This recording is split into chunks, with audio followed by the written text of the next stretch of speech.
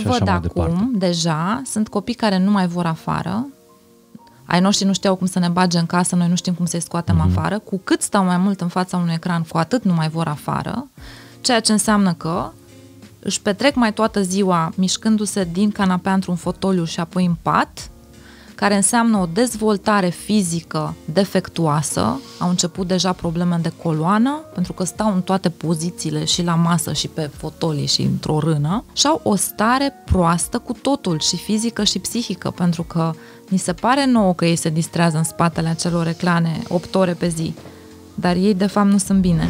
Salut și bine v-am regăsit la un uh, episod special din podcastul Fain și Simplu. Mă gândeam că în ultimele conversații pe care le-am avut aici și în episodul cu Adela Popescu și în episodul cu Andreea Raicu și în alte uh, întâlniri din scurta, dar uh, faina istorie a acestui podcast, am vorbit foarte mult despre cât ne influențează pe tot parcursul vieții, relațiile pe care noi le avem în copilărie, în primul rând cu părinții noștri și apoi relațiile sociale. Cât de mult lucrează inclusiv în ziua de azi Andreea Raicu pentru a vindeca rana abandonului uh, din copilărie, cât de mult încearcă Adela Popescu, bună oară, să fie o mamă la fel de bună precum uh, propria ei mamă, care a crescut-o undeva la țară în România. De altfel, episodul cu Adela Popescu exact așa s-a numit, Parenting ca la țară. Și pentru că am pronunțat acest uh, cuvânt, mi-am permis astăzi să o am la masa podcastului pe una dintre cele mai cunoscute uh, experte în parenting din uh, România. Este coach în parenting, este speaker motivațional și alte titluri care, desigur, uh, uh, mă onorează să o am invitată astăzi la Fain și Simplu pe Urania Cremene. Bine ai venit, Urania, să rămână. Bună, mă bucur tare mult să fiu aici. Nu prea mă pricep eu la prezentări la titluri de astea, E ok. dar aș putea să citesc aici uh, Toate titlurile acelea uh-huh. aș, uh, cu permisiunea ta, modifica unul dintre ele, pentru că nu sunt uh, speaker motivațional, maxim inspirațional îmi doresc să fiu. Ești public speaker. Sunt public speaker, Mhm. da. Dar eu cred că, mă rog, aici e o, și o dovadă de modestie. Eu cred că ești motivațional. Mm, inspirațional. Știi Inspirație. De, da, ce crezi că e mai importantă inspirația decât motivația? Pentru că eu nu cred că poți motiva oameni din afară. Eu cred că oamenii Mhm. se motivează singuri dinăuntru și că nu există om lipsit de motivație. Nu există așa ceva. Avem o lipsă de motivație într-o direcție sau în alta, către un domeniu sau altul, dar într-o direcție sau alta cu toții suntem motivați. Și atunci cineva nu te poate motiva din afară. Poate doar să te inspire, să scoți din tine niște pietre neșlefuite, uh-huh. să te uiți la ele din altă perspectivă și să-ți dorești să mai fațetezi un pic la ele. Urania are peste, era să zic, 100 de mii de victime, dar sunt oameni pe care tu ai încercat să îi înveți, să îi îmbunezi în uh, meseria asta de părinte, care până la urmă, practic, ar trebui, eu cred că parenting-ul e ceva natural, e run, running, parent, parenting, adică mm. e acțiunea de a crește Exact. copii. Exact. De când uh, ținem în, în brațe pruncul nostru sau pe care l-am primit în grijă, Facem parenting. facem parenting. Absolut. Acum că se numește parenting, așa l-am preluat noi, dar am putea să o numim oricum această relație. Mhm. Relația cu propriul copil, parentaj, uh, este parenting. Dar putem vorbi în episodul ăsta despre mamă și tată sau trebuie să Da. zicem părinte 1, părinte 2? Nu, nu, mamă și tată. Eu sunt uh, destul de anti-politically correctness în general. Deci mie îmi plac lucrurile spuse așa cum sunt ele, pentru că de fiecare dată o fac cu iubire, Mhm. uh-huh. cu bun simț și cu respect față de toată lumea și cu toleranță mai cu seamă, așa că îmi permit să spun lucrurile așa cum le văd și cum Acum, le simt. pentru cine a deschis televizoarele mai târziu, mai departe de zilele trecute, uh, Parlamentul European a dat o decizie prin care în toate actele oficiale ale Uniunii Europene ar trebui să ne referim la părinte 1, respectiv părinte 2 mm. și nu la mamă și tată. Uh-huh. dificil să înțelegi asta, nu? Bun, deocamdată vorbim despre niște birocrații la nivel de instituții uh, ale Uniunii Europene. Crezi că suntem în pericol în care, nu știu, generații următoare nu o să mai pronunțe mama primul cuvânt sau E foarte posibil. Până la urmă, copiii sunt bureții uh, realității în care trăiesc, nu doar ai părinților. Ei absorb cu totul cultura, convingerile noastre, energia pe care o mhm. transmitem unul altuia și e suficient să te încrunți la un copil când rostește un cuvânt sau face orice, demonstrează un comportament, ca el să știe că nu e în regulă. Și ei încep să aibă exact același tip de limbaj pe care îl folosim și noi. Iar lucrurile se întâmplă foarte repede. Într-o generație, două, trei, pot schimba o cultură. Nu una profundă, sigur. Și sper că asta să nu se schimbe, pentru că în momentul în care nu mai avem bărbați uh-huh. și mhm. femeie, eu cred foarte mult în familie. În momentul în care umblăm la această structură, umblăm la uh, însuși echilibrul uh, natural. Natural. Absolut. Deci uh, întreaga natură, întregul univers este făcut din pozitiv-negativ, din alb-negru, din yin-yang, din bărbat-femeie. De ce creșterea unui copil e mai mult decât despre a fi acolo părinte 1 și părinte 2? Exact din acest motiv.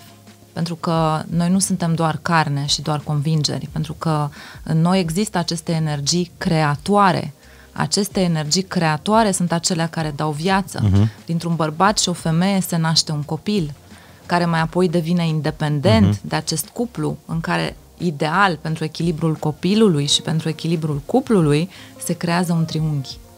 Adică copilul a venit într-un cuplu, dar nu intră între cei doi, nu-i desparte și nici nu devine doar al mamei și uh-huh. nici mhm. doar al tatei, ci se creează un triunghi acolo. Uh, în care el primește ambele tipuri de energii. E important asta. Sunt roluri profunde, atavice, care ne construiesc. Știi că s-a făcut la un moment dat, au existat de-a lungul timpurilor uh, tot felul de, de mișcări. Și la un moment dat, uh, în urmă cu nu foarte mult timp, vreo 20-30 de ani, a existat acea mișcare prin care părinții își creșteau copiii fără a învăța ceea ce înseamnă diferența de gen uh-huh. între mamă și tată. Uh-huh. Și la un moment dat, concluzia a fost că acei co- copii crescuți fără a uh, le fi spus care e diferența de, uh, de gen între mamă și tată, făceau exact aceeași diferență de gen între mamă și tată, precum cei crescuți știind foarte bine, ea e mama, el e tată. Uh-huh. Deci cumva e și foarte mult, copiii vin natural nu poți cu această deosebire. Nu poți să te lupți împotriva naturii. Uh, asta nu înseamnă că nu acceptăm relațiile între persoane de același sex. Hai să uh-huh. nu mhm. confundăm lucrurile, că uh, aici e problema. Noi ne ducem foarte mult în dezechilibre. A, păi dacă ținem la familie, înseamnă că suntem împotriva persoanelor. A, nu. Nici de cum. Uh-huh. Dar a schimba profundul sens al uh, familiei și ce înseamnă mamă-tată într-un cuplu născător de copii, uh, mi se pare prea mult. De ce are nevoie copilul, în primul rând, de la mamă, în primii ani, și, în primul rând, de la tată, uh-huh. la mhm. aceeași vârstă? Uh-huh. Are nevoie de cuplu, în primul rând, dacă asta se poate să rămână puternic și prioritar, copilul este cel mai fericit. Uh, copilul s-a născut într-un cuplu și acest cuplu e nevoie să rămână în continuare solid. Uh, în primii ani sau în prima perioadă de timp, copilul are nevoie de atașament, are nevoie de căldură, are nevoie de luat în brațe, are nevoie să știe că uh, la fiecare strigăt e cineva acolo, deci nu-i lăsat să plângă și are nevoie să simtă că aici este nevoia principală dincolo de hrană, că cei din jurul lor, lui, mama, tata, alți adulți, sunt liniștiți. Pentru că uh, copiii mici funcționează foarte mult la nivel de uh, emoții. Orice mamă știe treaba asta și orice tată, dar mamele mai cu seamă știu asta. Până la 2 ani, cel puțin, cordonul umbilical nu e tăiat decât fizic. Tu ești nervoasă ca mamă, copilul imediat e mhm. agitat.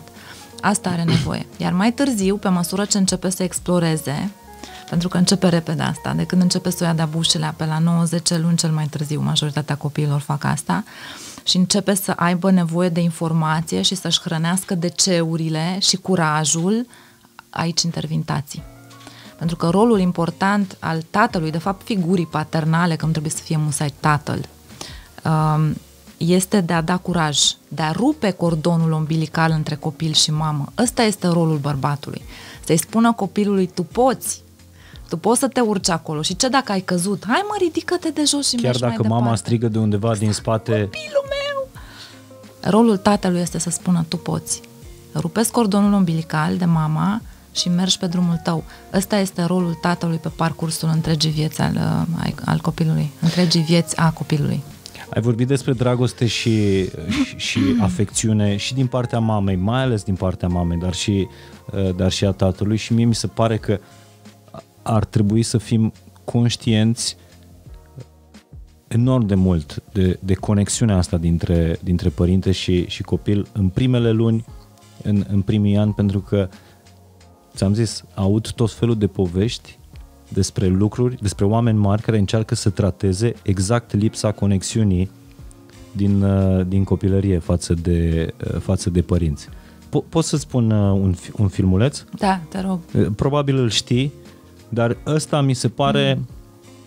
exemplul cel mai simplu, grăitor despre ce înseamnă relațiile dintre, dintre oameni. Este, o să-l punem și în, și în podcast după aceea. Ăsta este un uh, bebeluș, e în scaun alături de, de mama sa. And she Asta e o Da, relație este- normală este de... celebru. E celebru filmulețul ăsta. Nu filmulețul, ci This baby experimentul. Comportamentul ăsta. Experimentul de world, and the res- mother's trying to engage her de and play with răspuns. her. They're working to coordinate their emotions and their intentions, what they want. Asta e o, o, o conexiune tipică, o știți când Is used mama e pozitivă, copilul răspunde, el încearcă to să... not respond to the baby. Uh, mă rog, nu încearcă. E natural un copil baby very quickly picks up on it. fericit. And then she uses Și la un moment dat, all of mama her abilities se întoarce. to try and get the mother back. She smiles at the deconectează. Se mother. De deconectează, fapt, este She points because indisponibilă emoțional. where she points. The baby puts both hands și aici up începe in front panica of her and bebelușului, what's happening here? încearcă să îi atragă atenția, nu reușește Screechy și sound at the mother, like, come on. Evident că why- începe- Why are we doing this? drama.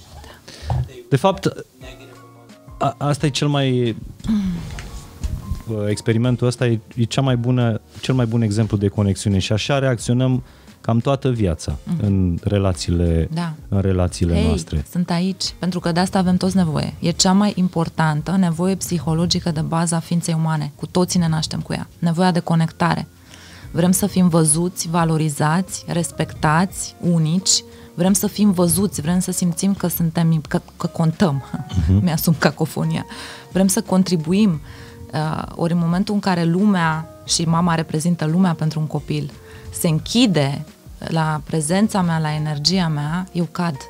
Deci e- e un consum interior, e o, e o desumflare la propriu și uh, o vezi această desumflare în oameni.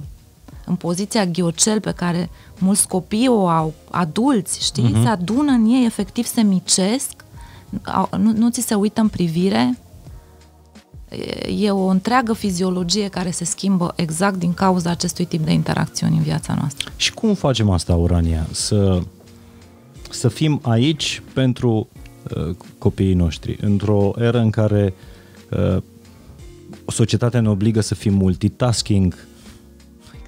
Nu există multitasking. Am mai citit asta undeva. Nu există. Dar ce există? Există prezență în aici și acum. Asta, asta este tot ceea ce putem face pentru a deveni mai eficienți, uh, pentru a obține mai mult, pentru a rezolva lucrurile într-un timp mai scurt, pentru a ne satisface toate nevoile psihologice de bază, nu cea de conectare doar. Uh, și pentru a face mai multe lucruri în viața noastră, adică pentru a îndeplini mai multe roluri. Trebuie să fim 100% atunci când facem ceea ce facem. Doar așa ne iese. Ai un copil, n-ai decât o oră pe zi, acea oră fi 100% cu copilul tău. Pune-te pe podea așa cum suntem noi acum. Te pui pe podea, stai la o masă, vorbești cu el, nu, la, nu lași niciun gând să treacă pe acolo, închizi telefoanele și ești acolo 100%. Din ora aia copilul tău se încarcă mai mult decât din nu știu câte ore petrecute în casă în care face fiecare orice, ceea ce e normal până la urmă. Ai de spălat vase, spală vase. Ai de condus mașina, condu mașina. Ai de scris o, o scrisoare sau un e-mail, fă chestia aia. 100% fii acolo, le faci mult mai repede, mult mai bine, nu le mai încarci pe toate, uite așa, și ți iese. Eu cred că e singura soluție să facem lucrurile atât de multe câte avem astăzi, prin prezență uh, focusată, efort conștient de a fi prezent. Lipsa mm. conexiunii în copilărie cu un părinte sau cu părinții, uh, ce adult va dezvolta? Um, unul care va face același lucru, unul evitant, uh, tocmai pentru că nu înțelege cum se întâmplă conectarea, care este ceva care se învață, ca orice fel de altă interacțiune, se învață treaba asta. Va evita la rândul lui, acest adult, alte contacte, pentru că nu știe cum să facă asta, sau o va face forțat, exact cum am văzut acest bebeluș, în disperarea lui de a obține atenție. Sunt atât de mulți oameni care fac asta într-o disperare de a obține atenție. E plină media de acești oameni uh-huh. care nu știu ce să mai inventeze pentru un like. Este, este uh, dovada clară a ceea ce face lipsa de conectare autentică. Pentru că atunci când te conectezi autentic, nu mai ai nevoie de pene pe spate, nu mai ai nevoie de show-uri, nu mai ai nevoie de show-uri, nu mai ai nevoie de măști, pentru că știi că ai primit așa cum ești tu și ai dat înapoi tot așa. Um, deci la asta poate să ducă, care golește încet încet o ființă de ea însăși, adică în momentul în care strigi în continuu după atenție, într-o conectare pe care tu ai învățat-o a fi de genul ăsta, hei, uitați-vă uh-huh. la mine, atunci nimic nu te mai mulțumește pentru că niciun hei nu e suficient de mare. Un băiat care nu are o copilărie în care mama stabilește o conexiune cu el, va fi un adult căruia îi este greu să se conecteze la lume? Iain, o să spun de ce. Eu cred cu tărie, nu cred că, uh-huh. că universul ăsta este într-un echilibru continuu. Ce înseamnă asta? Înseamnă că dacă în viața unui copil mama nu este disponibilă, din vari motive, figura maternă va fi preluată în bucățele de alte mame. Chiar dacă tatăl, de exemplu, crescând singur un copil, va trebui să devină mai mult mamă pentru copilul lui și părinții singuri fac asta. Femeile care își cresc singure copiii au o latură masculină mult mai bine augmentată decât cele care sunt ajutate. Clar. Muncesc mai mult, plătesc facturi, învață să schimbe cauciuc la mașină. Deci copilul începe să preia și din asta. Da? La fel, un bărbat care își crește copilul singur sau mai degrabă singur, învață să gătească, să dea cu aspiratorul, să-și aline copilul ținându-l în brațe, ceea ce e fabulos până la urmă, știi? Dar asta se întâmplă și în cazul uh, părinților mai puțin disponibili sau care nu se pricep sau care, nu, care lucrează în străinătate. Există această figură care e preluată de cineva. De prea multe ori asta mi s-a spus, știi? E bunica mai prezent acolo, e o educatoare ceva mai atentă, uh, prieteni de familie care preiau bucățele din rolul ăsta. Deci chiar dacă tu, ca mamă sau ca tată, nu ai timp, ești acolo, ești într-un cuplu, faci, uh, formați o familie, chiar dacă nu ai timp să-i fii mamă sau tată, natural copilul își va recrea figura mamei, respectiv figura tatălui, din portrete din societate. Ideal asta se întâmplă. Și ideal să fie niște portrete care să-l ajute mai târziu, pentru că e la fel de posibil să-și ia aceste portrete, aceste bucățele dintr-un puzzle pe care nu l are mhm. acasă, în, în, în bucățele care nu-i sunt benefice, care nu ajută la creștere, care, care, care. Da. Și acum cred că întrebarea pe care ar trebui să-și o pună fiecare dintre, dintre părinți este vreau ca imaginea tatălui pentru copilul meu să fie formată dintr-un puzzle din figurile din societate sau aș putea să fiu eu? Asta se va întâmpla oricum. Pentru că După ce vârstă copilul își ia modele din societate? de când poate să facă treaba asta? Cât de repede? Uh, Din momentul în care un copil e uh, împins de bunică sau de mamă sau de tată în cărucior în parc, copilul absoarbe informație. Deci, până la 2 ani, creierul nostru se dublează cu totul. Uh, Conexiunile neuronale sunt uh, la o, se, se produc la o rapiditate de neegalat în viața noastră vreodată.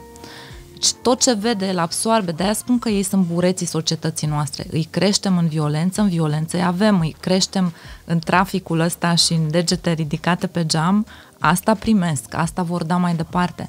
El vede adulții din parc cum se comportă cu proprii copii, chiar dacă el e în, încă în cărucior. Deci modelele astea vin pentru că noi suntem ființe sociale, noi suntem făcuți să trăim în, în triburi.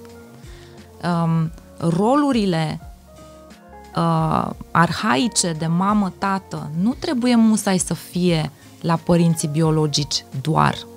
Asta este, ăsta este marele beneficiu al unei societăți închegate ca o comunitate care funcționează împreună. În înțelegerea că nu-ți crești doar copilul tău, îi crești și pe altora, mm-hmm. și la propriu și la figurat. Deci, de la început, copilul absorbe tot ce vede, tot ce simte, tot ce e în jur. Cum facem ca această conexiune între părinte și copil să nu se transforme în ultraprotecție? Pentru că eu cred că ăsta e pericolul cel mai mare al, ace- al, al acestor vremuri, timpuri în care ne creștem uh, copiii. Să-i ultra uh, protejăm. Mm. Ce faină întrebare, îmi place mult de tot. Um, una, di- unul dintre principiile pe care eu le predau încă la începutul uh, programului de parenting pe care l-am creat, metodologie All About Parenting, um, fac o paranteză aici. Programul ăsta, deși lumea îl percepe ca fiind un, un program cu foarte multe tehnici de pus în practică, așa este, Și am văzut eu un, săp- un program întins pe niște luni 10 de zile. 10 capitole, 10 luni, da. Nu cred în schimbări care se întâmplă așa, de-aia e lung. Ar, ar fi putut să fie și mai lung și o să fie, mai adaug la el. Dar nu despre asta. Eu predau o filozofie, pentru că nu poți să vii cu tehnici, știi? Empatia, de exemplu. Înțeleg, Mihai, că ai avut o zi proastă. Dacă eu doar rostesc cuvintele astea, dar de fapt mă doare în cot de ziua ta, tu vei simți asta, indiferent ce cuvinte voi folosi eu. Ori ce îi învăț eu pe părinți este să scoată din ei ce înseamnă empatie. Nu contează ce cuvinte rostesc după aia. Pot să fie unele care n-au nicio legătură cu asta, dar copiii vor simți, a, părintelui meu îi pasă de mine. Și acum, întorcându-mă la filozofia asta pe care eu clădesc ulterior tehnicile ca să poată să stea pe o carne, unul dintre aceste principii este copilul nu mi-aparține. Și părinții fac, cum? Cum nu mi-aparține copilul? Eu l-am făcut. Da, așa este. Dar nu ți aparține să faci tu ce vrei tu cu el. Doar tu ca părinte îi aparții lui. În sensul de obligație de a-l... Responsabilitate. Resp- da. Da, într-un, într-un sens larg, tu ai o responsabilitate pentru copilul tău. Copilul nu. E o chestiune de cultură. Dacă intră pe indieni, um, în India, copiii au mare responsabilitate față de adulți, față de bătrâni, la fel în Asia. Depinde de cultură foarte mult. Noi avem asta cu părăsești cuibul, cuibul și la revedere. E discutabil. Bun, dar, dar Dar- e foarte interesant ce ai spus. Copilul nu-ți Nu ți aparține. aparține să faci ce vrei cu el. Nu. Uh, Iar dacă pleci de la această premiză că rolul tău, de fapt, nu este să faci un om pentru tine, nu naști un om pentru tine, care să fie al tău, să te bucure pe tine, să te mulțumească pe tine și să te facă pe tine mândru. Marele Dumnezeu care a creat un om. Puterea e fantastică să-ți creezi un om și multe mame se mută în această creație cu totul. Copilul meu hm, se mută la propriu cu copilul în pat, știi? Și nu mai există nimic altceva. Lucru pe care, din păcate, multe mame îl și scot afară mai târziu uh, într-un mod foarte uh, dăunător copilului. Pentru că scot în evidență sentimentul ăsta de vinovăție, așezând pe umerii copilului întreaga lor uh, viață, știi, și eșecul lor în viață. M-am sacrificat pentru tine. Și uite, am ce renunțat faci? la tot pentru tine. Niciun copil nu vrea asta. Copiii vor ca noi să fim fericiți. Asta vor copiii, să aibă părinți fericiți. Și în momentul în care plecăm de la această premiză că nu ne naștem oameni pentru noi și că rolul nostru este efectiv să-i ghidăm către cea mai bună variantă a lor, nu ce credem noi, uitându-te la copilul tău care este unic, fiecare dintre noi suntem unici. Unii o au cu sportul, alții se mișcă greu, unii reușesc cu matematica, alții uh, cu desenul. Sunt foarte diferiți. Dacă noi ne uităm la ei așa cum sunt și îi creștem ghidându-i către ce sunt ei, uh, atunci reușim să ajungem acolo unde spuneai tu că ar trebui să reușim să ajungem. Da, părinții, mai ales părinții din generația noastră, fac foarte greu asta. Le dau foarte greu drumul uh, uh, copiilor. Le Ia- prelungesc uh, copilăria dincolo de, Da. uh, de, de limită. Da, e o infantilizare generalizată planetară. Uh, și sunt statistici în această direcție. Oamenii nu mai pleacă de acasă. și dacă pleacă, se întorc. Uh-huh. În basementul, cum spun americanii, I go back in the basement, știi, uh, al părinților. Uh, Da, copiii nu mai zburdă la fel de repede cum o făceau până acum. La noi este și mai rău decât înainte, pentru că noi, latin fiind, oricum așezăm copilul pe un piedestal. Nu se întâmplă în multe culturi ca părinții să-și amaneteze lucruri din casă pentru copii sau să le cumpere mașini sau să-și Apartamente. ipotecheze casa ca să cumpere copilului apartament. Nu se întâmplă în toate culturile treaba asta. La noi se întâmplă. Și atunci și pretențiile sunt foarte mari. Mai cu seamă că, din nou, presiunea pe umerii unui copil este mult mai mare decât înainte. Pentru că avem unul, doi copii, nu mai sunt 8 sau 10. Am făcut unul, păi apoi trebuie să fie... Da. E, e, e într-adevăr cu foarte multă uh, protecție. Este, este, eu numesc asta, nu eu numesc asta, eu folosesc această uh-huh. sintagmă că n-am creat-o eu, uh, helicopter parenting. Știi? E părintele care survolează continuu deasupra copilului, uh, dându-i indicații constante, uh-huh. copilul care nu-i lăsat nici să gândească, nici să facă vreo greșeală. Se face totul pentru copil, în locul copilului, se rezolvă toate problemele, se previn problemele ca nu cumva copilul să plângă sau să aibă vreo traumă. Mamele își pun întrebarea cum, îi, uh, cum încetez uh, în a-i mai da copilului suzetă să nu-l traumatizez. Adică cuvântul traumă a devenit atât de înfricoșător pentru noi și pentru că se vorbește mult mai mult decât înainte despre traumele noastre, încât există o reală um, preocuparea părinților astăzi de a nu-și traumatiza copiii, ceea ce duce la prea multă protecție. Dar ce înseamnă exact traumă în copilărie? Uh, Exemple de traume. uite, ai dat frumos uh, mai devreme uh, exemplul Adelei și am și urmărit uh-huh. podcastul vostru, mi-a plăcut foarte mult. Mulțumim. O și cunosc pe Adela și mi-e foarte uh-huh. dragă. Um, abandonul, sau povestea e de Andreea Raicu. De Andreea Raicu e de a, povestea de abandonul. Da. această rană a abandonului. Um, rana asta apare foarte ușor. Adică nu e nevoie să te închidă părintele în casă uh, și să te traumatizeze fizic ca să dezvolți o rană de abandon. Este suficient să ți se spună foarte des copil fiind, dacă nu vii cu mine, te las aici. Uh-huh. E simplu, atât de mulți părinți fac asta că nu-și conving copiii să plece din parc. Ce gândește copilul în acel moment și se așează această convingere încet încet este uh, eu sunt oricând de părăsit. Oricând părintele meu m-ar putea părăsi. Treabă care uh, se așează ca o convingere aici pe care o purtăm inclusiv în relațiile de cuplu. Dacă părinții mei m-ar fi putut părăsi oricând și ca să mă iubească trebuia să fac frumos pentru că ei îmi spuneau că sunt drăguță sau că mă iubesc doar când eram cu minte bună și zâmbitoare și luam nota 10, înseamnă că trebuie să fiu la fel și în relația de cuplu.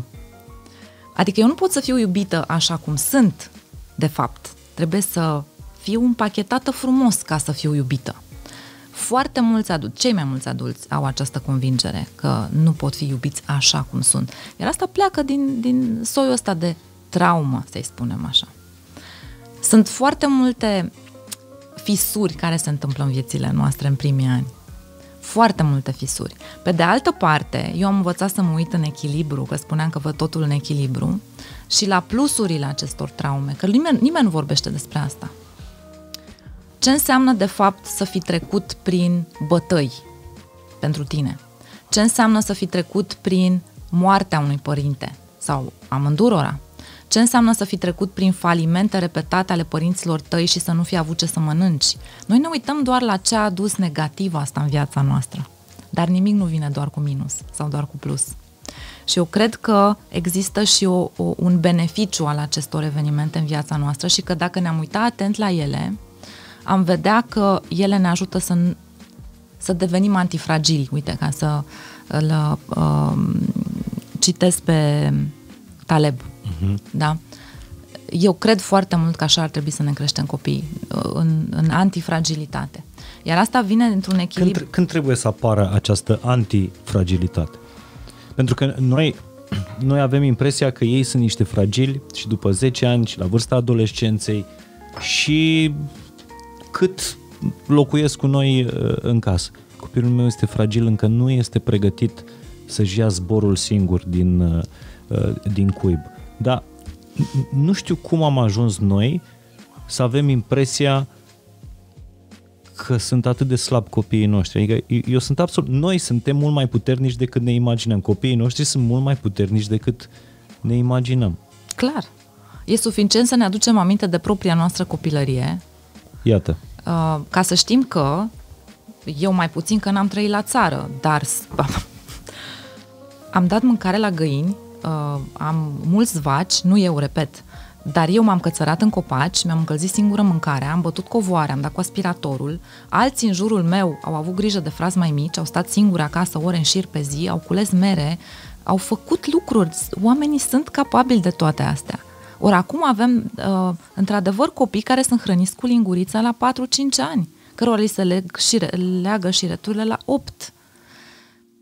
Asta și nu e mă... conexiune. Nu, este uh, infantilizare. A ține un copil într-o fază de copil este infantilizare.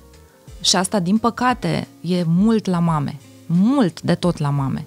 Pentru că și doresc mici, deși spun că vor să fie mari. În multe discuții cu mamele am ajuns acolo. Da, chiar așa mă uit la el și crește copilul meu și e cu lacrimi că crește copilul. Știi? Și doresc mici. Și dacă noi ni dorim mici în loc să ni dorim mari, să poată singur, să stea bine pe picioarele lor, nu contează că sunt bărbați sau femei acești copii, atunci le putem da drumul și nu că le putem da drumul, avem un scop în a învăța pe ei să facă singuri. Până la urmă ei oricum vor afla că viața asta este așa cum e. Nu e dreaptă, nu e nici corectă, nu e nici ușoară. Da. Și cred că întrebarea fiecărui, dacă ești părinte și te uiți în ochii copilului tău, întrebarea pe care ar trebui să ți-o pui este vrei să-i faci viața sau să îi transmiți ideea asta că viața e ușoară cuiva pe care îl iubești ca pe ochii din cap? Adică dacă îl iubești, asta vrei tu să-l înveți despre lumea asta, că viața e ușoară și vrei să o faci cât mai ușoară? E o bună întrebare asta. Părinții fac asta din cele mai bune intenții, îți dai seama, pentru că își iubesc foarte mult copiii și nu vor să-i vadă suferind și nu vor să-i vadă plângând și având probleme și frustrări și atunci dau foarte mult din ei pentru ca copiilor să le fie bine. Pentru că eu cred că iubirea ar trebui să vină la pachet cu adevăr. Eu cred că adevărul și iubirea undeva Copiii au nevoie trebuie să se întâlnească. și de sprijin și de provocare în egală măsură. Și dacă îl iubești pe copil și n-ai cum să nu-l iubești că e al tău, spune adevărul. Da. Despre lumea asta. Absolut. Da. Dar când trebuie să le spunem adevărul? Până când trebuie să-i Până ținem nici. în, Ce în, în cuib? asta? Uite, am să-ți dau un exemplu. Um, când ți-ai luat tu primul job, nu știu cum a fost la tine primul job, dar pentru cei mai mulți oameni, primul job ăsta vine după ce ai terminat facultatea sau liceu dacă nu te duci mai departe. Eu abia terminasem gimnaziu. Fine. Și simplu. Fain N-a și fost simplu. simplu, a, dar a fost tot în presă, da. Super, super. A fost full-time? N-a fost, că încă învățai, nu? Uh, uh, a fost într-o vacanță de vară și era mai mult decât full-time, adică plecam dimineața și mă întorceam seara. Grozav. Și la mine a fost la fel tot în presă. Tineretul uh-huh. Liber Radio Uniplus, eram în liceu încă. Iată. Dar pentru cei mai mulți oameni un job, un job, apare după ce își termină niște studii și își apucă să-și caute joburi. Pe vremea noastră era cu anunțuri, cu trimis CV-uri, dar nici acum nu-i departe. Unul dintre punctele care apare în orice uh, uh, ofertă de job este minim 3-5 ani experiență pe jobul respectiv. Este? Bun. Când tu abia ai terminat facultatea sau liceul, punctul ăla este al naibii de frustrant. Dăm șansa să obțin această experiență ca să-ți demonstrez că pot. Ori treaba asta este valabilă pentru copii, în cum îi creștem, de când o iau de-a bușile. Rolul nostru este să învățăm de când o iau de-a bușilea că asta este o cană care se sparge. Uh-huh. Și înăuntru este o cafea pe care o beau doar adulții. E amară. Acela este un telefon care îmi aparține. Dacă tu îl dorești, mi-l ceri. Toate lucrurile astea copiii le învață de la început și e la propriu o um, nu mai o acumulare de informații și de abilități, dar este o continuă capacitate de a rezolva probleme și de a lua decizii. Exact cum începe copilul explorarea, întâi în jurul patului, după aia în sufragerie, după aia în întreaga casă, după aia pe stradă, la fel se întâmplă și cu capacitatea lui de a rezolva probleme și de a lua decizii. Deci ea crește încet, încet. Nu există un moment, unul în care îi spui copilului tău, gata mă, valea, hai că ai învățat destul să nu-ți dute. Nu există așa ceva. Totul se predă încet, încet, pas cu pas. Ca să poată să meargă singur la magazin, trebuie să meargă cu tine, nu? Trebuie să înțeleagă cum e cu bănuții și ce cumpărăm și cum se pun obiectele pe conveior și de ce le cumpărăm pe acestea și nu pe altele, până când va putea să meargă singur cu bănuții în buzunar. Dar nu se va duce la șase stații mai încolo, se va duce la chioșcul din, de, la, din, de la parterul blocului. Și i-a ieșit treaba asta, se mai duce de câteva ori la parterul, îi mai dăm și alte tascuri suplimentare să vedem cum le duce până când să meargă mai departe și tot așa. Cu cât vorbești mai mult, cu atât îmi dau seama că tu faci coaching pentru cea mai grea meserie din, Îți mulțumesc. din lume. Să știi că e cu mare recunoștință și cred cu adevărat că așa este. Pentru că mergi pe o linie foarte, foarte uh, subțire mm. și întotdeauna trebuie să, Exact. să țin echilibru. Cre- crezi că acest echilibru al unui părinte vine din cât a studiat, ce a învățat, nu neapărat despre parenting, ce a învățat în, în viața asta. Uh, crezi că vine din uh, reflex, din instinct, foarte mult.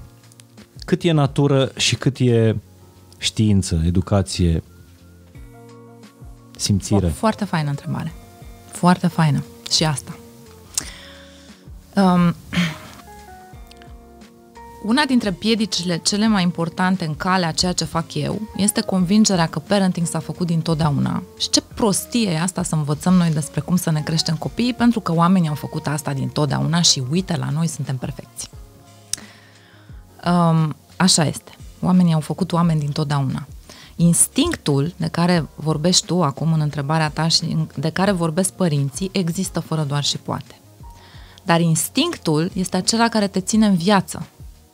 Ăla este instinctul în care înțelegi că asta arde și că trebuie să fac în așa fel încât copilul meu să rămână în viață uh-huh. și să își câștige pâinea eventual. Cu asta, cu acest instinct reușești să duci un, un copil la vârstă adultă și să fie funcțional. Cred asta.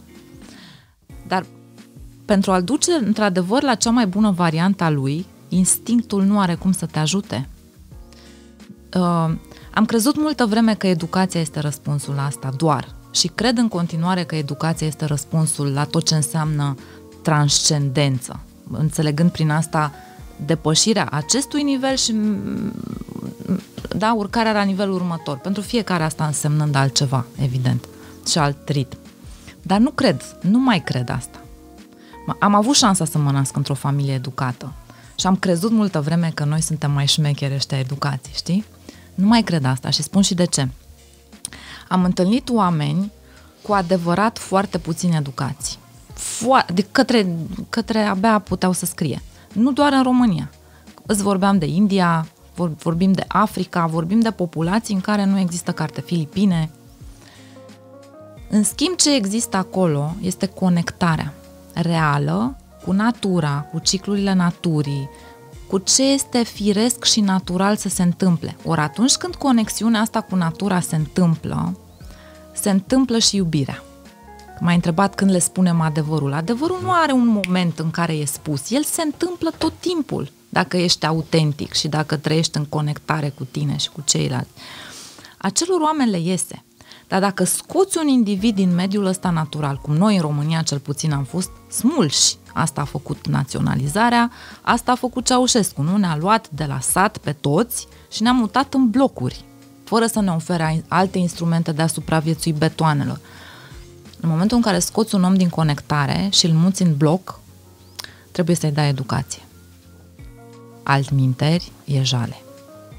Dacă el nu mai are conectarea cu pământul, dacă nu știe când să iasă la, la, la firul ierbii, dacă nu înțelege relația cu acel animăluț pe care îl are în curte, pe care poate îl va consuma, da, dar e un respect acolo care se creează între om și porcul lui, știu asta, uh-huh. între om și câinele lui. Dacă el nu înțelege toate lucrurile astea, au. Deci, aici este echilibru între instinct și educație. Și ce înseamnă, de fapt, rolul pe care tu îl ai în viața unui copil sau mai multora. de am spus că nu mai e doar despre propriul copil, e despre toți. Și ai lăsat pe copii să greșească mm. nu e doar la, la specia noastră, la, nu e doar la oameni. Mă uitam, am vizitat în Grecia, în Creta, acum vreo 2 ani, o colonie de, uh, de vulturi. Și apoi am citit despre, despre ei. Vulturii și, și mama și tatăl uh, își hrănesc uh, puiul, au grijă de pui, iar în momentul în care îl învață să zboare, îl iau pur și simplu în, în ghiare și îl scapă în abis.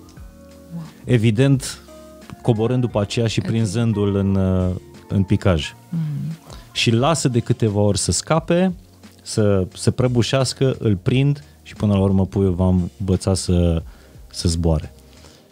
Cum îi lăsăm pe copii să dea cu capul de pragul de sus? Era o expresie din uh, vocabularul mamei mele? Da, e bună expresia. Lucrând în primul rând la acceptarea greșelii din partea noastră. Uh, eu a, a, am avut această șansă de a, nu numai de a călători, dar de a preda, pentru că sunt trainer de, din totdeauna, um, în mai multe țări și în mai multe culturi. Și um, am ajuns la următoarele două concluzii. Uh, noi suntem genial ca indivizi, noi românii, eu n-am întâlnit om mai mișto din punctul ăsta de vedere cum e românul. Nouă ne merge mintea, știi? E foarte rar trebuie să explici... Ca șmecherie sau ca inteligență emoțională, să zicem? Uh, ca, uh, capacitate de înțelegere a unei informații. Dacă explici unui român o informație, dar eu explici uh-huh. logic, nu e nevoie să o explici a patra oară. De cele mai multe ori se prinde și face și conexiuni în alte direcții și te și face mai departe uh-huh. eventual, știi? Și vine și cu umor. Asta e un alt lucru care îmi place fantastic la noi. Umorul. Îl iubesc, umorul. Dar dincolo de asta, uh, noi nu știm să facem echipă nu știm să lucrăm împreună. Și de ce nu se întâmplă lucrul ăsta? Pentru că, și pentru că nu, nu ne-a fost permisă greșeala. Sistemul educațional a funcționat așa, adică toate lucrările noastre erau încercuite cu roșu, știi? Roșu, mult roșu, roșu, roșu. Și dacă erai ridicat în picioare cumva în clasă și nu știai răspunsul la o întrebare, cum adică să îmbrățișeze vreun profesor lipsa ta de știință și să spună mai sunteți și alții în clasă care nu știți răspunsul la întrebare? Hmm.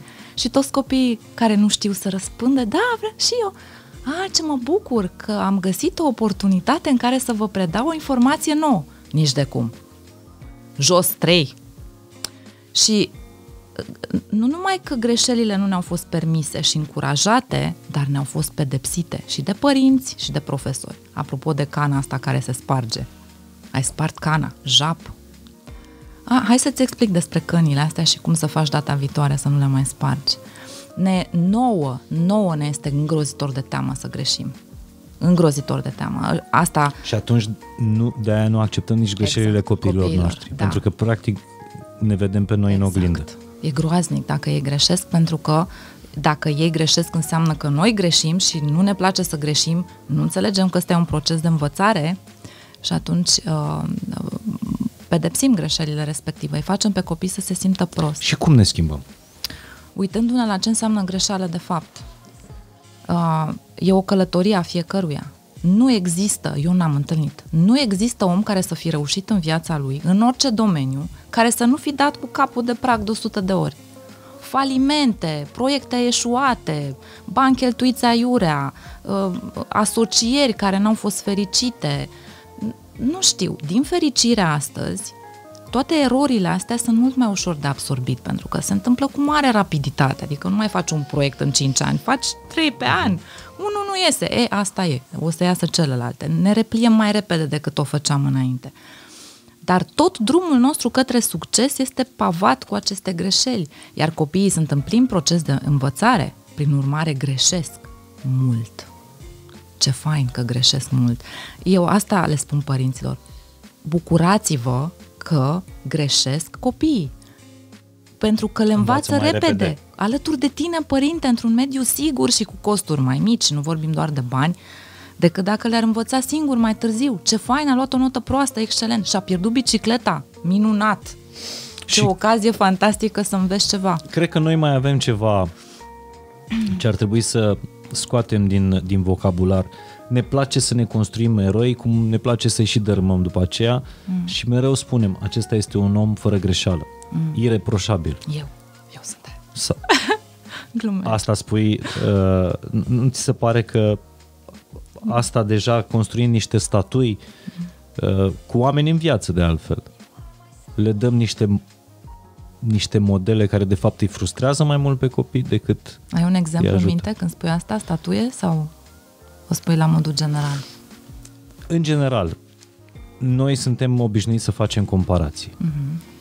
Uh, cel puțin noi așa am fost crescuți. Uh-huh. Vecinul învață mai bine, uh, fata colegei mele a luat notă mai mare decât tine și așa mai departe. Uh-huh. Ce exemple ar trebui să le dăm copiilor noștri?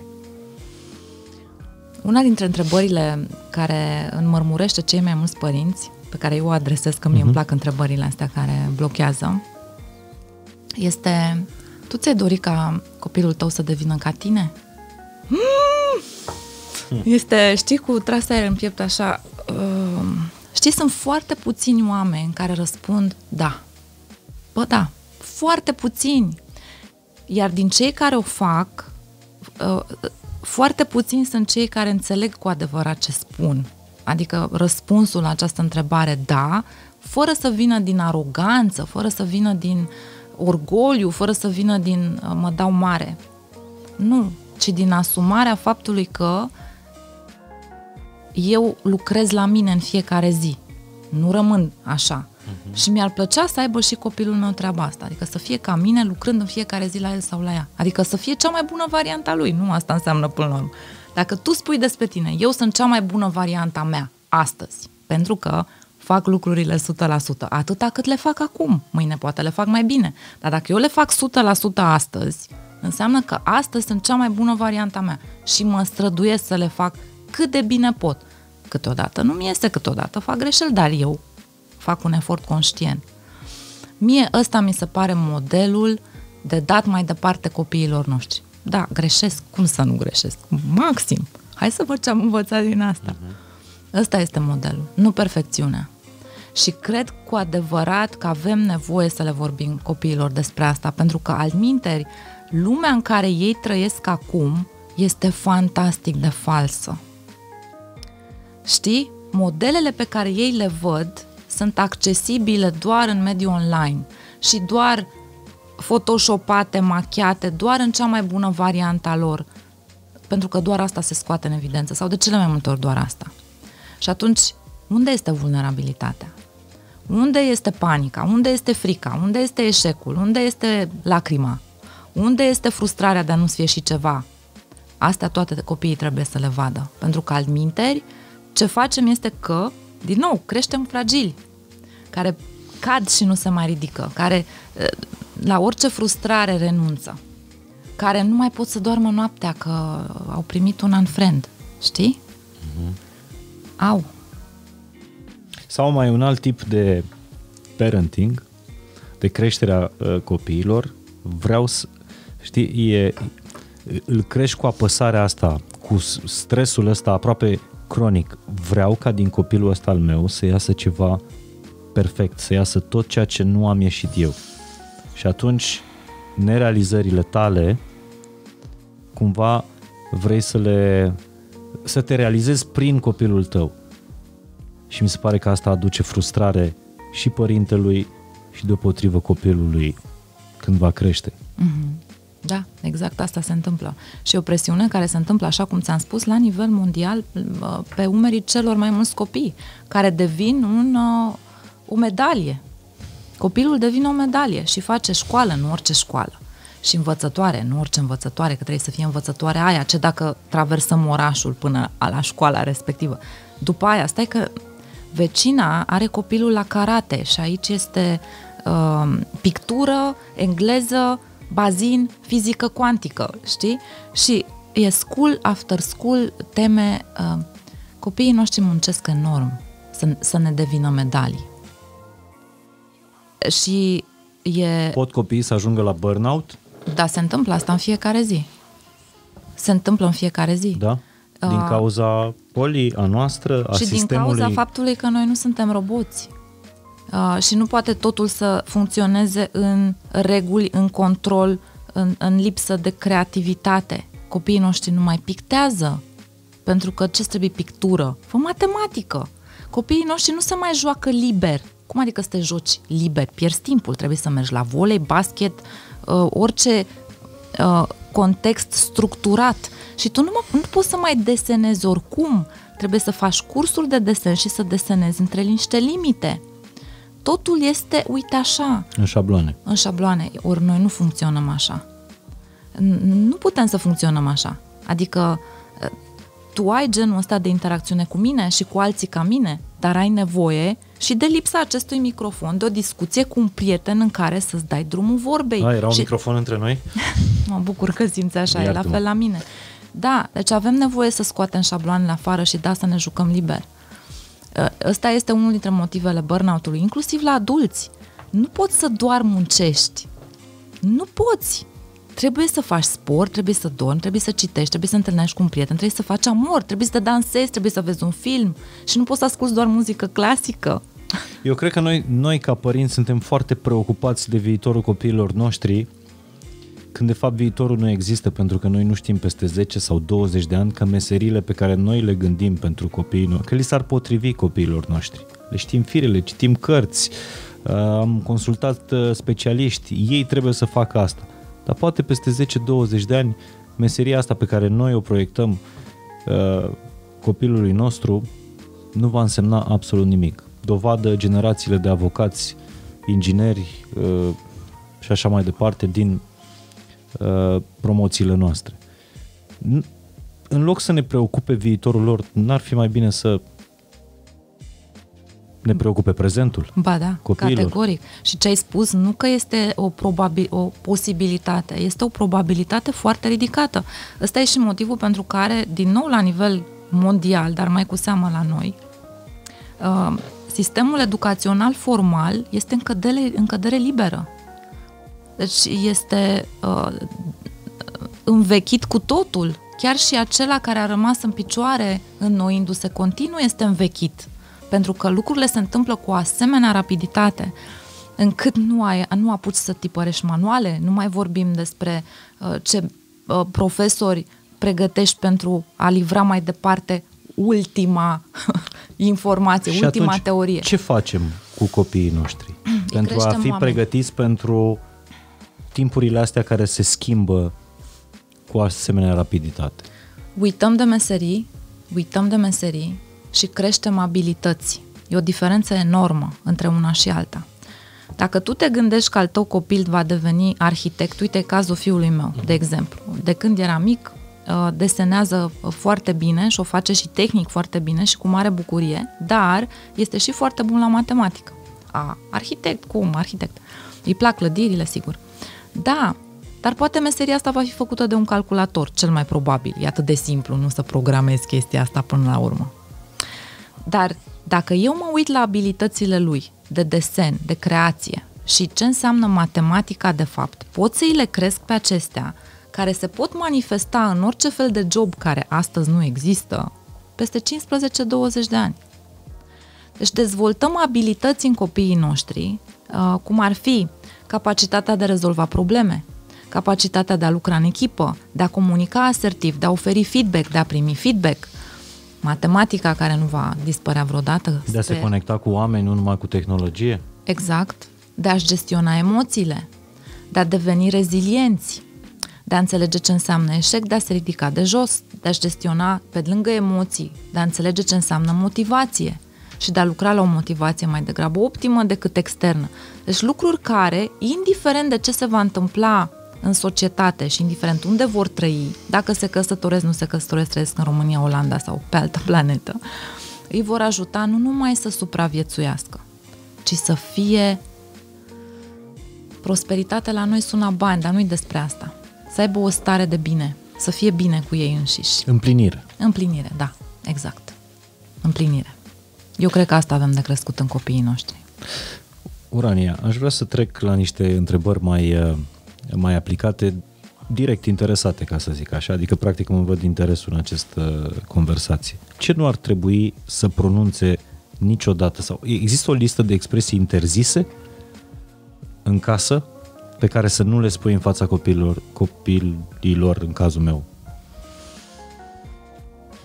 Nu ești bun de nimic, uh, nu te mai iubesc, uh, era mai bine dacă nu te-ai fi născut, uh, mă faci cu capul, uh, nu mai pot cu tine. Um, nu știu.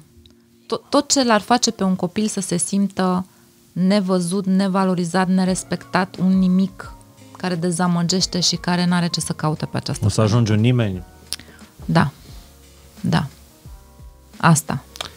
Și cum evităm aceste episoade, că practic asta e furie deja. E- Dacă se întâmplă doar la furie, e, fa- e fain. E pardonabil. Dar crezi că unii părinți au deja în, E cum nu? întipărit, adică E ca cum? niște jingle-uri pe Dar care... cum să nu? Adică Noi fără sunt- să fii furios, îi spui asta copilului tău? Absolut. Pentru că noi funcționăm pe baza unor tipare. Noi suntem o manifestare a informațiilor care sunt acumulate în noi. Suntem o manifestare a informațiilor care sunt acumulate în noi. Cu totul, inclusiv la nivel de ADN, de celulă. Uh-huh. Nu vorbesc toți aiurea de epigenetică, nu? Deci noi suntem o manifestare a tuturor informațiilor care s-au acumulat până la noi de Homo sapiens, uh-huh. inclusiv de părinții noștri și a șaptea generație, cum spune Biblia. Și toată copilăria noastră. Deci noi suntem mult mai mult părinții noștri decât credem noi că suntem. Ăsta este și motivul pentru care atunci când devenim părinți încep să iasă toți afară din noi și toate experiențele noastre și te trezești vorbind ca mama ta, ca tatăl tău, fără măcar să-ți dai seama că lucrurile alea erau acolo. Poți alege conștient, dacă ai această fărâmă de conștiință, evident, să continui aceste comportamente, da, e fain, uh-huh. sau poți să zici, a-a, na, na, na, na, na, eu nu vreau să spun așa ceva, că uite, nu-mi sună bine. Da, sunt acolo. Știu că pare uh, incredibil că sunt încă părinți care își bat copiii din convingere, dar în România Așa e bine. sunt peste 60%. Din convingere. Nu pentru că s-au enervat odată și n-au mai putut să se abțină. Din convingere. Și atunci e mult de muncă acolo, știi? Dar uh, Și eu acum îmi dau seama că cei 100 de mii de părinți care au trecut uh, pe la seminariile tale, webinarii și așa mai departe, e un număr încă mic. Da, dar e în creștere. Pentru- E în creștere. Doamne ajută. Eu, e, și ei duc mai departe treaba asta. Fiecare aceea. Prin comportamentul pe care îl are. Pentru că se va comporta diferit și ceilalți văd. Eu cred în masă critică. Cred foarte mult în asta. E ca la vaccin. Practic, Ca la când, vaccin. când se va ajunge la o masă critică, uite, Sau nici- ca la imunitate naturală. sau ca la imunizare colectivă. Da. Da, masa critică funcționează și într-un caz și în celălalt. Și crezi că se va ajunge acolo? Uh, eu lucrez în această direcție. Cu toate velele. Cred că se poate. Pentru că cei mai mulți părinți nu-și doresc asta.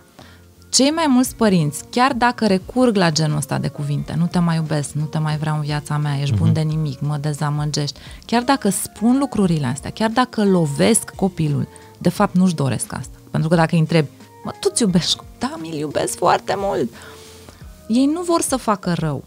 Doar că balaurii ăștia ies din ei fără să aibă niciun filtru și nici nu și-au pus vreodată problema că fac rău pe termen lung. Și în momentul în care cineva le pune oglindă, că vorbeam de pietrele alea neșlefuite, uite o piatră. Păi nu mai vreau piatra asta în mine. Că am un sentiment de vinovăție, așa mă culc seara plângând că am țipat la copil. Mulți spun asta. Păi hai să vedem cum poți să obții lucrurile pe care ți le dorești altfel. Și cei mai mulți sunt dispuși să facă pasul ăsta, pentru că până la urmă nu e atât de greu. E greu, dar nu este atât de greu. Și e un efort care merită, pentru că e relația din viața ta. Nu știu dacă mai există vreuna atât de importantă. Dar când, când trebuie să intervii tu ca, uh, ca părinte? Vorbeam în, chiar în episodul cu, cu Adela Popescu și ea spunea, era preocupată de niște episoade ale uh, co- copiilor ei care săptămâna asta, nu știu, se trântesc uh, în parc, uh, după aia peste două săptămâni le trece, dar ea e preocupată în timpul ăsta. Ce o avea copilul meu? Ce rană o scoate el, o elibera el prin această prin acest comportament. Uite, îți dau exemplu cele mici uh, de acasă. Roa până acum vreo două săptămâni mai avea momente când seara în casă cu toată lumea în centrul casei, da, în sufragerie, se dezbrăca pur și simplu. Își dădea hainele jos și refuza să, să mai fie îmbrăcat.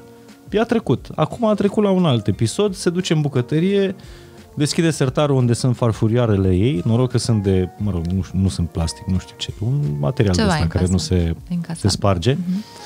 Uh, și aruncă farfuriile, zici că e la buzuchia la greci, știi? și îți dai seama, părinte, nu-mi dau seama când să intervin. Să-i spun că nu e bine ce face, cine, adică ce înseamnă bine și rău. Dar totuși, e, ea creează o dezordine, un dezechilibru într-o casă. Foarte fain. Când intervin Încă o astfel de întrebare cazuri? Foarte faină. Um, Ajungem la concluzia că nu există bine sau rău per se, corect? Adică a umbla în pielea goală, bună oară, cum ai dat exemplul ăsta, nu e bine sau rău. Poate fi adecvat sau mai puțin adecvat, în funcție de context, așa La fel, um, a arunca cu farfurii poate fi adecvat sau neadecvat, în funcție de dezordinea sau lipsa ei pe care eu o creez prin acest Ce să zic, dacă Roa crede că e la o nuntă în Grecia, Exact. Și atunci, uh, din perspectiva mea, există doar câteva reguli care ne ajută să știm când să intervenim și când să Mhm. nu. Prima este să nu-ți faci rău ție. Trebuie să-mi explici asta. Dacă nu te speli pe dinți, îți faci rău. Mhm. Dacă mănânci prea multe dulciuri, îți faci rău. Dacă nu evaluezi corect uh, acel copac în care vrei să te urci, îți faci rău pentru că e posibil să cazi și tu ai cel mai bine grijă de tine, că tu trăiești în corpul ăsta, nu eu. Mhm. Corect? Asta spunem copiilor. E corpul tău, tu ai cel mai bine grijă de tine. Dacă tu te urci acolo, sunt șanse mari să cazi și să faci rău. Deci nu-ți faci rău ție. A doua regulă, nu faci rău altora. Hai să vedem ce înseamnă alții. Alții încep, alții ăștia încep în general cu mama. De aia felul în care mama își învață puiul respect este foarte important pentru că relația cu mama este mai târziu relația cu lumea. Dacă copilul e obișnuit lângă mamă să dea cu pumnul în masă și mama să se ridice și să servească copilul, așa mm-hmm. va face și în societate cu ceilalți. Dacă mama nu știe să spună până aici, cu iubire, mm-hmm. dar ferm. Um, în momentul în care ești într-un restaurant și tu urli, mai sunt alți oameni acolo care au venit să se simtă bine și să se relaxeze. Tu îi deranjezi pe ei în acest moment. Nu e despre nu se cade sau nu e frumos. E despre ceilalți oameni au venit să se simtă bine, iar tu îi deranjezi.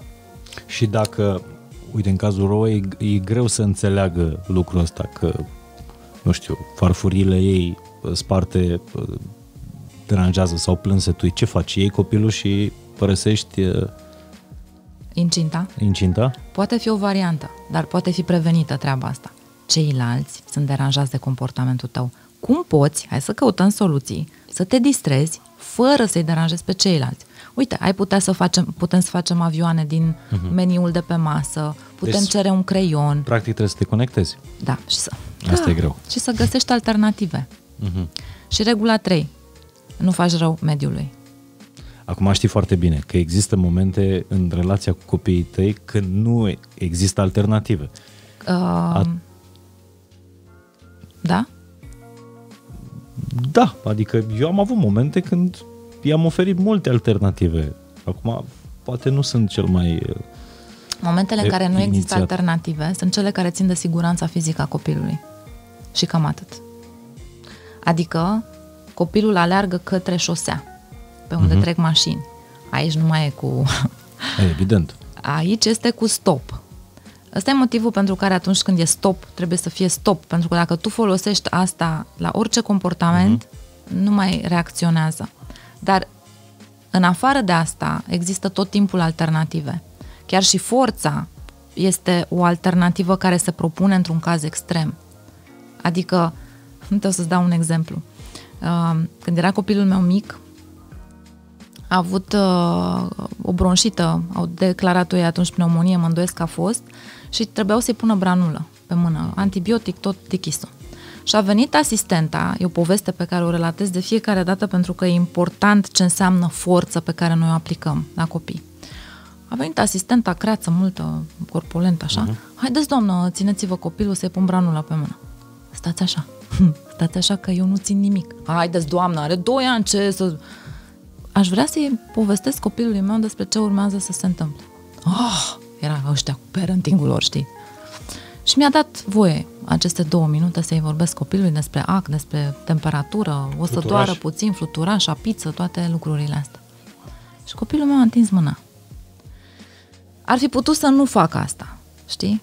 Dar merită întotdeauna efortul ăsta de a explica lucruri, pentru că e un, um, e un piedestal pe care se construiește încredere, pe care se construiește ulterior o altă cooperare, un alt episod în care copilul întinde mâna, știi? Roa, te rog, farfuriile acelea, știu că te distrezi cu ele, dar faci zgomot și pe noi ne deranjează. Uite ce poți să faci în schimb. Îți dau niște farfurii de plastic, de alea subțiri și faci așa cu ele prin casă. Ce zici? Merită treaba asta. Dacă nu, apropo de forță, injecția aia trebuie făcută. Stai tu de bunăvoie sau va trebui să te țin eu? Îmi pare rău, n-am altă variantă. Deci forța este întotdeauna ultima soluție. De fapt, grija noastră nu este că roa se dezbracă în mijlocul sufrageriei sau că aruncă farfurii. S-ar putea, sigur, poate deranjează liniștea casei, dar de ce trebuie să fie o casă cu copii liniștită? N-am înțeles niciodată.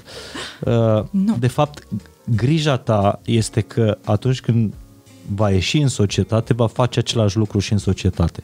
Și tu cumva, în momentul în care ieși cu copilul tău în, în societate, adică el, el devine deja un animal social, iese la locul de joacă, la grădiniță, la școală, ai vrea să nu facă asta. Ar trebui scos ca să învețe diferența între regulile de acasă și regulile din parc, regulile de acasă și regulile de la restaurant, de-aia copiii trebuie scoși. Și asta este, asta este una dintre problemele uh, uh, familiilor de astăzi. Ies atât de rar și înainte de anul ăsta. Ieși... Și înainte de pandemie, da. Da, ieșeau foarte rar. Cum se ies cu copiii? Păi fac, uite așa, ca toate alea. Așa este. Dar dacă tu nu ești cu copiii tăi, dacă nu le dai șansa să învețe cum să se comporte în tramvai, în autobuz, în avion, la o nuntă, în restaurant, asta se va întâmpla până târziu. Vrei să te închizi în casă pentru că ai un copil care face așa în restaurant? ia timp și învață-l cum să se comporte. Pentru că în casă e ok roa să stai în pielea goală. Pe noi nu ne deranjează. Stai în pielea goală dacă ție ți-e bine așa. Afară, în schimb, nu mai e adecvat să faci asta. Aici poți să arunci farfuriile astea, dar știi, când ieșim în societate sunt alte reguli. În alte case sunt alte reguli. Hai să mergem în vizită la prietenii noștri. Citisem o, un, un studiu care spunea că până la patru ani, la patru ani copilul ar trebui să fie pregătit să iasă în societate și societatea să-l accepte. Adică dacă merge la un loc de joacă, uh, nu știu, copiii de acolo să-l ia de mână și să se joace cu, cu el și să nu fie genul care să stea la margine, știi? Uh, și până la patru ani e rolul tău să faci asta cu copilul tău. Um, povestește foarte frumos despre asta Jordan Peterson despre cât de important este ca până la patru ani copilul să învețe ce înseamnă likability, să te faci plăcut, să știi să cooperezi, să te integrezi în grupuri și să știi cum să faci treaba asta, prin ce metode, nu să dai buzna din afară, ci să evaluezi, știi, când ajungi într-un parc, cum se joacă uh-huh. copiii, cam care e momentul în care putea să intri. Iar asta se învață. De-aia spun copiii, au nevoie de trib, au nevoie să socializeze. Dacă tu ții copilul în casă jucându-te doar cu tine adult, noi nu ne jucăm cum se joacă copiii. Noi ne prefacem că ne jucăm. Vrea copilul asta mai în stânga? Bine. Pe când un alt copil o să-i o smulgă din mână, o vreau eu. Și copilul trebuie să învețe, să ofere jucării, să le, cer, să le ceară, să respecte regulile unui joc, să știe când să se introducă și ce înseamnă respingere. Asta e, nu ți-a dat jucăria. Dar tu ai cerut-o frumos, e alegerea lui să ți-o dea sau nu. Tot ce ai tu de făcut dacă ți-o dorești este să o ceri. Asta se învață pas cu pas și da până la patru ani e foarte important să învețe asta. Altminteri, sunt șanse foarte mari ca acel copil să se integreze greu într-un grup. E suficient să primească această etichetă la școală de ăla are tras, uite cum scrie acolo, ăla de la radio, ăla din fundul băncii, din fundul clasei, ăla care se supără ciosul ăla care nu știe să piardă la jocuri și nu te mai invită nimeni. Și e foarte important acest aspect, pentru că, da, nevoia noastră principală e cea de conectare. Dacă asta ne iese, celelalte... Socială. socială. Și totuși, în ultimul mm. an, copilăria s-a desfășurat aproape în totalitate acasă. Școala, copilăria și așa mai departe. Cum crezi că sau ce urme crezi că va lăsa anul ăsta de pandemie asupra copilăriei? Adevărul este că nu știe nimeni. Este un experiment, tot ce se întâmplă anul ăsta, de acum un an, în această situație declarată de către majoritatea țărilor pandemie, este un experiment. Ce se va întâmpla din asta, habar n-avem. Dar în contextul acestui experiment, realitățile noastre sunt foarte diferite. Adică sunt oameni care au trăit și trăiesc în comunități restrânse, având curte, grădină, animale și frați, surori, deci familii numeroase, pentru care această perioadă nu a schimbat mare lucru, adică s-au conectat în continuare, au avut grijă de animale, copiii s-au jucat împreună, chiar pe stradă, și sunt alte situații, cum sunt cele din orașe ca Bucureștiul, în care copiii și părinții s-au închis, s-au închis în casă, în două camere, luni de zile. De ce spun s-au închis? Pentru că niciodată autoritățile nu ne-au spus nu ieșiți din case, ci evitați să ieșiți inutil, în aglomerații, dar nu ți-a spus nimeni. N-ai voie să-ți scoți copilul în jurul blocului uh, să se plimbe sau să îl vadă soare. Nimeni n-a spus așa ceva. A fost o alegere pentru mulți să facă asta. Din Stai teamă. Ne-au zis să ieșim doar, și cu, doar cu cățelul, nu și cu copilul. Da, e adevărat. Din anomaliile Da. da. interdicțiilor, că am trăit atâtea anomalii în această perioadă. Asta mi s-a părut, uh, da, o chestie să, de să nu ne stârnim. foarte că frumos sunt, pentru sunt, drepturile animalelor, da. Sunt multe care mă stârnesc îngrozitor. Bun. Apropo, știi că uh, pușcăriașii au o oră pe zi de ieșit în curtea școlii, școlii. am zis bine, am A zis bine, în curtea penitenciarelor. școlii. Mhm, Da. da, știu. Că și școlile tot a penitenciare arată, cele mai multe dintre ele, din păcate. Copiii noștri nu sunt scoși o oră pe zi afară. Nu sunt. Uh, nici măcar cei care au curte. Da, da, asta cumva e El- opțiunea noastră. Știi, eu lucrez cu familii, unul la unul, Da. și uh, e ceva ce mă depășește, nu înțeleg asta. Inclusiv în acest proiect Super Nanny pe care l-am început și care, a, a, a, a cărui Felicitări, prim am episod, văzut, mulțumesc, abia a s-a început. difuzat săptămâna trecută, unde am avut șansa să fiu în, în mijlocul unei familii o săptămână întreagă. Uh, am văzut prea puțin această preocupare către cum arată viața în mod normal. Hai să ieșim afară. Afară! Deci nu știu, dacă chiar în aceste capsule um, viața s-a desfășurat normal, atunci repercusiunile nu vor fi majore. Altminteri, nu știu. Acum, sigur că viața s-a desfășurat normal, uh, are, are foarte multe nuanțe, Da, dar ceea ce nu are nuanță e faptul că fetele mele mari, de exemplu, probabil și copiii tăi, au stat niște 5, 6, 7, 8 ore pe ecrane nu, ai mei nu. la școala online. Uh, da, Ale mele au făcut exclusiv un an școală online, mai puțin 3 săptămâni în care au mers la școală și și, fiul s-a meu închis ea. mare, și fiul meu mare, din martie, au început școala la două săptămâni după ce s-au închis școlile, sau o săptămână. Adică n-au avut altă opțiune decât Da, acest ecran. Da, uh, dar în restul timpului nu a mai fost ecran. Și uh, mi-am asumat și am spus-o încă din martie, de când am început webinarile, mi-am asumat întâlnirea cu două, trei familii, cu copii de aceeași vârstă, din clasa lui, cu care copii să se poată întâlni, dacă nu zilnic, suficient de frecvent, încât să satisfacă această nevoie. Uh, am avut un copil, uh, familie de prieteni cu curte, a, am făcut tot ce am putut când n-a fost lockdown, să ieșim din București, să mergem afară, bicicletă, uh-huh. băneasa, munte. Deci am făcut toate artificiile posibile ca viața, așa cum am putut și așa cum ne-am permis și am, și am permis, uh-huh. să se desfășoare satisfăcându-ne în continuare aceste nevoi psihologice de bază. Pentru ce- că eu nu cred, iartă-mă că te întrerup, că siguranța fizică este singurul obiectiv pe care îl avem. Nu poate să fie doar ăsta. Dacă siguranța noastră fizică, adică neîmbolnăvirea, ar fi singurul obiectiv, n-am mai ieșit din casă niciunul dintre noi. Noi știm care a fost prețul pe care l-am uh, uh, plătit uh, apropo de siguranță fizică, nu știm care o să fie prețul pe care o să-l plătim apropo de Nu știe siguranța nimeni. Nu știe emoțională, mentală Ce și așa văd mai acum, departe. deja, sunt copii care nu mai vor afară, ai noștri nu știau cum să ne bage în casă, noi nu știm cum să-i scoatem Mhm. mm-hmm. afară, cu cât stau mai mult în fața unui ecran, cu atât nu mai vor afară, ceea ce înseamnă că își petrec mai toată ziua mișcându-se din canapea într-un fotoliu și apoi în pat, care înseamnă o dezvoltare fizică defectuoasă. Au început deja probleme de coloană, pentru că stau în toate pozițiile și la masă și pe fotolii și într-o rână.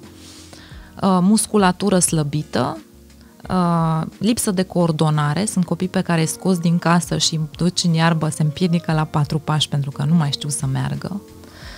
Uh, sunt deja supraponderali, foarte mulți dintre ei, și au o stare proastă cu totul, și fizică și psihică, pentru că ni se pare nouă că ei se distrează în spatele acelor ecrane 8 ore pe zi, dar ei de fapt nu sunt bine acolo. Deci asta, asta este ceea ce văd acum. Plictis și o stare proastă. Tu ai ținut uh, webinarii încă de când a fost instituită carantina anul Da, trecut. Adică exact. de un an de zile, din martie 2020. În martie, când s-a instituit uh, carantina, înainte să se, institueze, ca- să se instituie carantina, când s-au închis școlile, eram în Africa de Sud Uh-huh. cu soțul meu la un curs al lui Dr. John de Martini, pe care eu îl urmăresc de ceva ani, la o certificare eram acolo și am aflat ce se întâmplă. Ne-am schimbat biletele de avion uh, și ur- am plecat acasă, urma să am întâlnire trimestrială cu colegii mei, facem asta în fiecare trimestru, trei zile, să ne punem creele la oaltă și am transformat această întâlnire în trimestrială în uh, întâlnire de criză. Ce facem? Ce facem? Dar hai să vedem cum putem să fim alături de părinți altfel decât în săli. Deci da, încă din martie am susținut primele webinarii. Și cred că e mai mult decât uh, oricând nevoie ca părinții să aibă... Știi, e foarte important și lucrul ăsta, pentru că am, am văzut o mulțime de uh, cursuri de dezvoltare personală, unde la sfârșit ai impresia, bă, dar eu știam toate lucrurile astea. Ok, și atunci de ce nu le faci? Eu cred că în viață este foarte important să te conectezi cu niște oameni care exact asta să facă. Să spună lucrurile pe care tu le știai, dar practic spunându-ți-le, îți pun, îți pun mintea într-o, într-o ordine. Mm. Și eu cred că e, e o perioadă în care părinții au nevoie de această direcție, inclusiv să, să participe la un webinar al, al tău în care tu să le spui lucruri pe care ei le știau deja. Cred că e cel mai greu acum, sigur n-am trăit pe vremea războiului și nici în 1600. Așa cum ne spune nouă istoria, sau ce știm despre istorie, cred că astăzi, cu toată abundența din jurul nostru, pentru că trăim cea mai abundentă perioadă din istoria umanității, asta știm de fapt, știm cu totul, adică ne dăm și jos liniștită, din... pacifistă. Și liniștită, da. da. Ne dăm jos din bloc și traversăm și cumpărăm uh, pepene din Guatemala. Uh-huh avem prosperitate în jurul nostru. Pe de altă parte, cred că este cel mai greu pentru părinți să crească copiii astăzi. Pentru că suntem din ce în ce mai singuri, pentru că nu mai avem ajutor, pentru că avem vieți foarte aglomerate, pentru că copiii nu se mai joacă singuri împreună, pentru că nu mai stau pe afară, pentru că ne jucăm doar noi cu ei, pentru că, pentru că, pentru că sunt foarte multe pentru căuri. Și atunci, da, uh, orice fel de ajutor în această direcție e binevenit pentru ei. Și ăsta e motivul pentru care nu că participă, o, o fac în mod frecvent și și aduc și pe alții, pentru că nu le spunem doar lucruri care, pe care le știu. Evident, eu exageram. Sunt multe. Nu, e corect ce spui, ai dreptate. Dar sunt altele care pro- provoacă ahauri profunde. Wow! Adică nu m-am gândit la treaba asta. În plus, ceea ce învață pun în practică și funcționează și asta le dă, uh, le dă un sentiment de plinire că se poate, știi? Aceste mici victorii de care avem cu toții nevoie să știm, da, fac bine ce fac, pentru că toți părinții vor asta, vor să fie părinți buni pentru copiii lor. Și când încep să le iasă lucruri, vor și mai mult, vor și mai mult și breșa asta se deschide și informația începe să curgă, nu doar de la mine, de oriunde, dar începe să curgă și asta pe mine mă bucură fantastic de mult. Dar care este cel mai des blocaj? Uh, cursul tău uh, se, se numește Educa azi ca să nu vindești mâine. Asta e campania pe care noi o avem, în care campania... Sunt mai multe cursuri. Da, sunt uh, webinarii pe care mm. le susținem de luni până duminică în fiecare zi, gratuite, eu și cu întreaga echipă de traineri. Mm-hmm. În general sunt de două ore, Uh, avem informații pe care le uh, oferim părinților pe, pe blog, articole, deci toate uh, în sprijinul părinților sunt relevante pentru astăzi. Avem uh-huh, webinarii uh-huh. despre gadgeturi, despre conflicte între copii, despre cum să-i ajut să învețe acasă, cei care au școală online și deci foarte multe subiecte fierbinți, știi? Dar cursul meu, metodologia pe care am creat-o și cursurile aferente ei se numește All About Parenting. Uh-huh. Despre ea vorbeai. Da, vor, uh, da, vorbeam despre uh, campania asta, educa mm-hmm. azi ca să nu vindești, vindești mâine. mâine. Mm-hmm. Vorbești de rănile copilului sau rănile părintelui? Ha, ce fain! Noi vorbeam despre rănile uh, copilului ajuns adult, așa am gândit-o, dar mai cu seamă sau și despre ceea ce se întâmplă în relația părinte-copil, pentru că se rupe această relație. Și e greu de vindecat această relație mai târziu și de către părinte înspre copil și invers. Adică foarte multe relații între părinți și copii se rup pe la adolescență și nu se prea repară. Și nu se mai repară... Da. Se lasă cu telefoane de Paște și de Crăciun, tipul ăla de răceală, de complezență, ne mai vedem la întruniri de familie, dar nu e o relație din aia... Și știi ce, ce mi se pare foarte trist? Bine, nu la fel de trist ca a, nu știu, a nu merge la mormântarea părintelui tău, de exemplu. Mm-hmm. Deși știu foarte multe cazuri. Mm-hmm. Mi se pare foarte trist să te împaci tu adult cu părintele tău în ideea în care spui mai are câțiva ani de trăit și aș vrea să fie bătrânețea liniștită. Dar nu pentru că tu ești convins că trebuie să-ți repari uh, relația cu părintele. Foarte trist, într-adevăr. Foarte trist. Și știu și astfel de, uh, de cazuri. E adevărat. E o relație important de reparat. Pentru că suntem jumătate mama, jumătate tata. Din nou, cu tot ce e în spate. Dacă nu faci pace în tine, măcar, că sunt mulți care vor să se împace și nu mai au cu cine, că s-au dus. Uh-huh. Și asta doare și mai tare, să nu mai ai un om pe care să-l spun să spui, auzi bă, nu mi-a plăcut de tine ca părinte, dar eu te-am integrat în mine și am văzut și plusurile și minusurile și ești cel mai bun tată sau mamă pe care am putut să-l am. Pentru că nimic din ceea ce înseamnă viață sau da, nimic din ceea ce înseamnă viață nu se poate construi pe resentimente, ci doar pe recunoștință. Dacă nu ajungi în, în punctul în care să fii recunoscător pentru tot ce ai primit în spate, bun rău cum o privești tu, dacă nu ai această stare de recunoștință, nimic nu se poate duce înspre înainte. Toate hăurile alea din spatele tău consumă îngrozitor de multă energie. El era tot timpul. Resentimente, ranchiună, sentimente de vinovăție, de rușine, de răzbunare, de... consumă fantastic. De are sens să împăcăm trecutul. Dar nu, n-ai simțit asta lucrând cu atât de mulți uh, părinți. N-ai simțit că foarte mulți fug de treaba asta de teamă de a afla că, că au greșit? Știi că nouă cel mai teamă ne este să ne punem în fața, să ne recunoaștem greșelile de fapt. Și atunci când îți crești un copil, poate că tu știi că ai greșit, dar nu vreau să spună nimeni asta și nu vreau să-mi recunosc greșelile.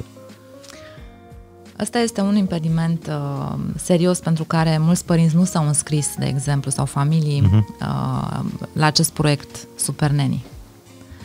Sunt mulți cu care am vorbit, vreau, mă, dar nu pot, că știi, păi cum vii tu acasă la mine cu toată echipa aia de filmare, adică problemele mele, rufele astea se cam spală în familie, nu?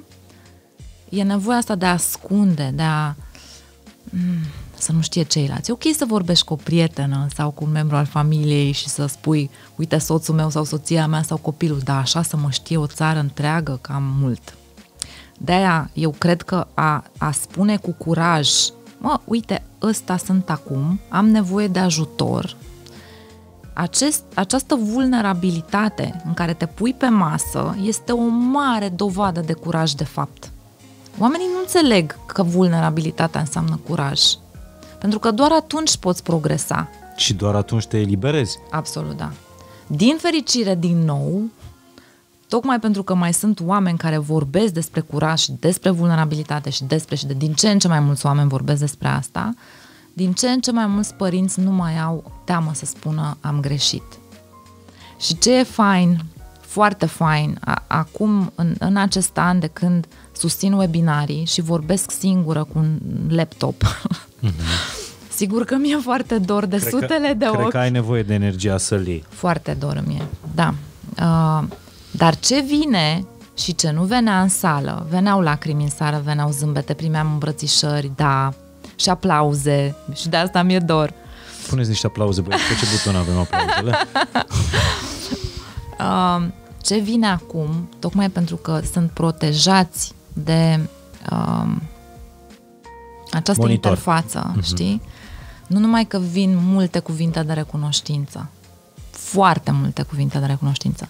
Vine exact această recunoaștere a faptului că am greșit, nu m-am gândit niciodată la treaba asta. Pentru că ți-e mai ușor să recunoști în fața unui ecran, chiar cu urania într-un da. pătrățel, pentru că ești acasă la tine, da. ești în spatele monitorului Dar pe tău. ei îi eliberează fantastic treaba asta.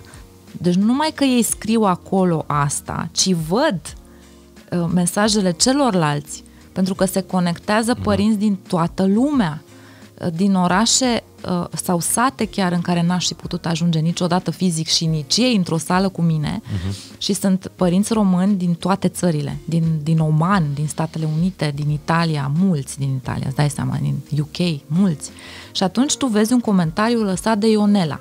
Tu nu știi cine e Ionela, dar înțelegi uitându-te la numărul ăla de părinți, câteodată 1500, 700, 3000, înțelegi că toți vrem același lucru. Toți avem aceleași dureri, toți avem aceleași bucurii, cu toții suntem oameni, cu aceleași intenții. Și ce fain este să vezi că cineva simte ca tine sau 500 de oameni. Deci tu spui că vulnerabilitatea e curaj. A, da, am această convingere. Tu ai doi copii. Unul spune al meu și unul al soțului. spune Dar am doi copii, da. Ești mamă Absolut. pentru doi copii. Da. Uh, spune-mi o greșeală pe care ai făcut-o în creșterea copiilor tăi. Am fost foarte tehnică. Um, eu am învățat parenting din frică. Pentru că eu am învățat tot timpul, toată viața. Și mă uitam în jurul meu la părinți, mulți dintre ei foarte educați, cu joburi, CEO-uri, manageri, care aveau o relație cu copiii cel puțin bizară. Ei fiind foarte buni pe jobul lor și foarte buni cu echipele lor. Și nu se poate, adică cum... Și eu n-am vrut asta, eu am vrut să-mi iasă și acasă. Și mi-am dat seama că nu știu cum, pentru că eu i-am întrebat, dar tu de ce ai făcut așa? Eu am făcut copil mai târziu decât alții. Tu de ce ai făcut așa? Păi așa mi-a venit. Da, și dacă nu reacționa copilul tău, ce făceai? Ce să fac? Nu știu, vedeam eu. Și mi-am dat seama, vorbind cu acești oameni, că ei nu știu ce fac de fapt. Nu au un plan. Adică refuză copilul să spele pe dinți. Așa. Și ce faci?